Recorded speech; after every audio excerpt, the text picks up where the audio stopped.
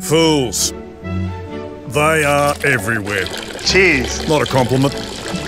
And they come in all shapes and sizes. Here we go.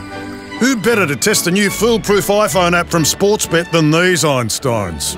I personally believe that apps like such as Sportsbet, they make it easier for people to use, such as some I'm with you. people. Yep, it's so easy. Even Botox Bradley here can use it without raising an eyebrow. I'll never botch your head to head again. And you make it look so natural.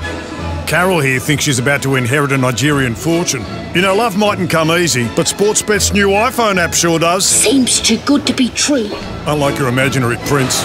Seriously, even flat Earth expert Mark Sargent could use it. A bloke who thinks space is fake. I could do this standing on my head. Thanks, Gravity. Even this idiot abroad can use it.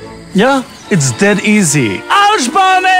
See you in the NT News, mate. And we gotta save those people by making them learn about things that maybe they don't know. I'll tell you what I do know. Even the permanently offended can claim a winner-winner chicken... Oh, sorry, vegan-based dinner. So easy.